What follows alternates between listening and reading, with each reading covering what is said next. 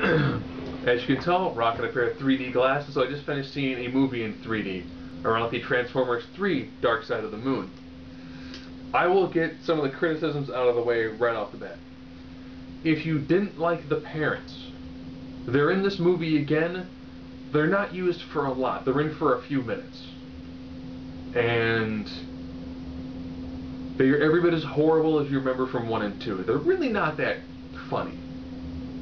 Now, there is no, I think it was Skids and Mud Flaps. Those are the racist robots from 2.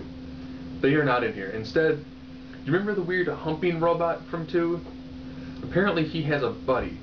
And those two live with Sam and New Girl. New Girl, who of course is a Victoria's Secret model. There are some scenes, if you saw the trailer, you see a scene where she's just standing there, and everything's like exploding behind her and she has a look like someone said just look confused. They have that scene in the movie and it does nothing even in 3D she just looks really bad in that scene.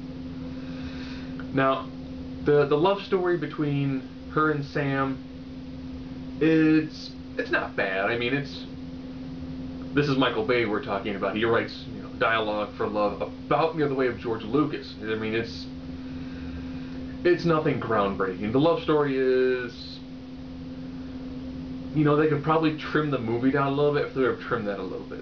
That that's all I'm really saying. That that was pretty bad. And and for the most part, you know, when it's dealing with the humans and the humans aren't fighting the robots, there's a lot of comedy, which I thought was weird.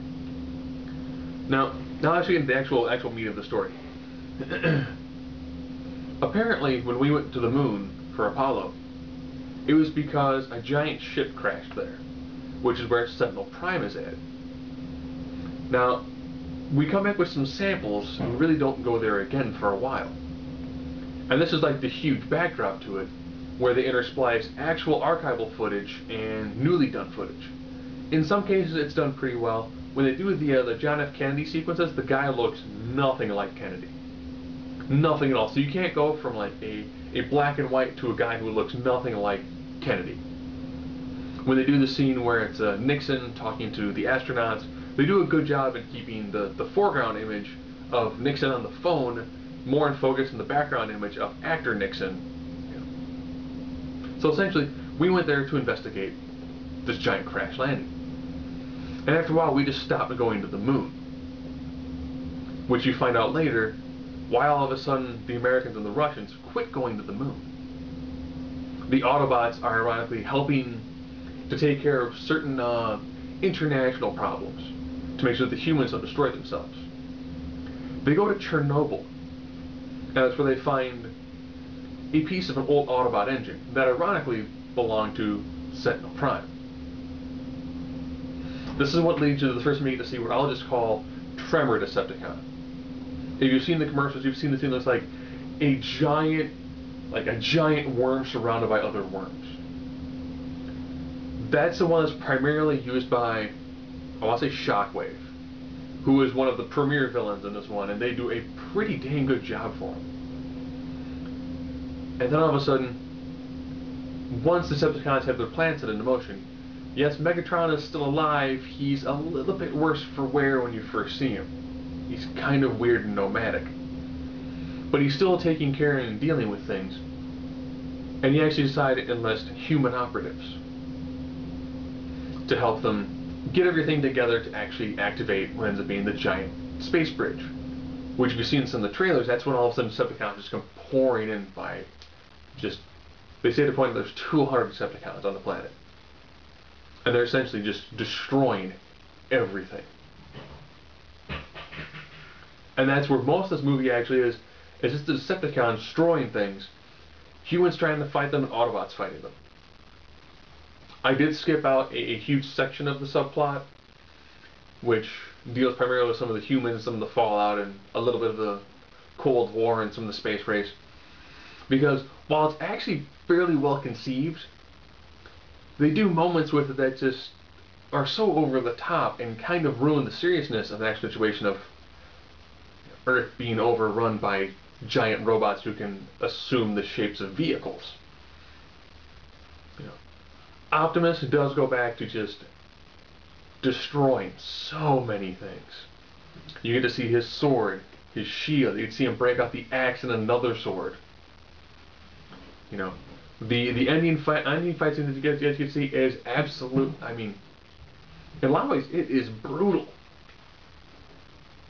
I mean, they more or less kind of let you see, you know, like a head pretty much sliced in half. It's a robot head, it's a robot head, and then someone else kind of get their brains blown out. Again, robot brains, robot brains. So it is actually pretty violent. And when it comes down to the ending fight sequence that's done in Chicago, an hour away from me, I was actually at a trade show while they were doing some filming for it in Chicago. They do kill a lot of people. And people get shot, they kind of become like dust. So did Bay do a good job in actually making this war feel real? You know, people are dying, robots are dying, more people are dying, buildings are being destroyed left and right. You know, that's what makes this movie have this nice kind of epic, you know, summer blockbuster feel to it. The love story, meh. And there are times when I don't mind some comedy. You know, Pirates of the Caribbean does a decent amount of comedy, you know, helps break up some of the tension and keeps things kind of lighthearted. In this one, you get moments where the comedy just seems to just go and just go and you kind of go, eh. There's a lot of seriousness going on. Then you throw in, you know, man, I'm, we're gonna wreck this ship. Ship. So if you take your kids to go see it, the, the two small annoying robots, the one who was the humping robot from 2 who now has a weird friend who kind of like has smoke coming off his head, they'll probably emulate those two. And they're not bad, they're the weird sort of kind of cutesy mischievous robots. And actually make that, the robots in this are just ridiculous. You know, when they show Cybertron, it just looks insane when they go to uh, the Ark and they're walking around it to try to get Sentinel Prime and some of the, the remaining pieces that create the bridge. It's it's immaculately done. And the transformation of the robots, great. There are of course some scenes where the believability is entirely tossed out the window. There's a scene where they're being chased and Bumblebee has to transform, which tosses Sam out of the car. He then catches Sam in midair in a Matrix style move, and then transforms back. And Sam is in the car just screaming because he thought for a minute first he was thrown from the car, and now he's back inside the car. You get, you get lots of moments kind of like that. Do some of the main Autobots die? Yes. So the main Decepticons die? Yes. Is it heartbreaking in most ways? Which is actually kind of weird because it's it's an intelligent robot who transforms into a semi or transforms into a you know, into a Camaro. But the way they do it, they actually invoke a small amount of emotion from the actual you know CGI itself. So if you hated the second one, they do fix some mistakes. They they definitely did tone down. There is still some racist humor, but it's not as bad. You know, you don't have two concept cars tossing back, you know, urban colloquialisms like like crazy. So you don't. It's not that bad. And the woman that got to replace Megan Fox, knowing that her previous job was lingerie model, to make that apparent in the very first scene you see her, because you don't see all of her. It's very reminiscent of the first time you saw Scarlett Johansson in Lost in Translation. So, all in all, for her job as being the hot girl, she did a decent job of it. And I really can't say anything bad about her because her boyfriend's Jason Statham.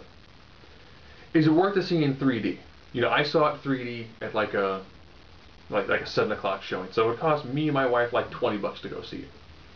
And knowing that's like a shade under three hours, you actually do get your money's worth. I probably recommend if you want to see it in 3D, potentially catching the matinee if you do cheaper prices for that. Because is it worth 10 bucks a piece? You know, in my area, um, pretty close to it. Would I rather have spent like seven? Yes. So, if you like the first one, and the second one kind of turns you off, they, they do they do they do a better job than the second one. And if you're like me, it's just great seeing Optimus Prime go nuts and destroy Decepticons.